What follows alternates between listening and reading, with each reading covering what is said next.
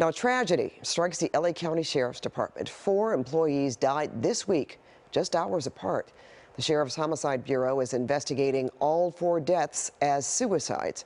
As KCAL's Jasmine Viel tells us, the news sent shockwaves throughout the entire department.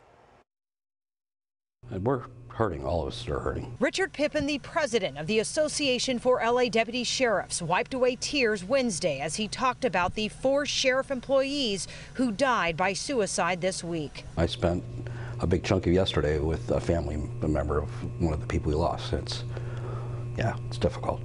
Never seen anything like this in 34 years in one day. His association represents nearly 8,000 deputy sheriffs. He got the news Monday that three LASD employees had died, followed by another death on Tuesday. One retired deputy, um, one custody assistant, which is uh, like a jailer, and uh, a commander, and then a deputy sheriff who worked one of our jails. The Sheriff's Homicide Bureau is investigating all four deaths separately. Pippin says deputies are under a lot of stress from staffing shortages to dealing with trauma on the job. Things are tougher than they've ever been. The long hours, the, the, the violence, and the sadness. You, you, you, see people at their worst and during the most difficult times. LA County Sheriff Robert Luna released a statement saying, in part, we are stunned to learn of these deaths, and it has sent shockwaves of emotions throughout the department as we try and cope with the loss of not just one, but four beloved active and retired members of our department family.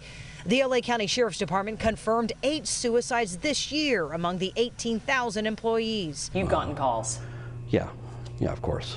Studies show police officers are more likely to die from suicide than in the line of duty. Sherry Senwelski with the D.D. Hirsch Mental Health Services explains one risk factor. Law enforcement, they're supposed to protect the community. They're supposed to be able to pull themselves up by their bootstraps. Sometimes that makes it even harder um, for that particular community to say, I need a break, I need some help. The American College of Emergency Physicians found that law enforcement officers have a 54% increase in suicide risk compared to civilians. The sheriff also said that his department is urgently exploring avenues to reduce work stress factors to support employees' work and personal lives.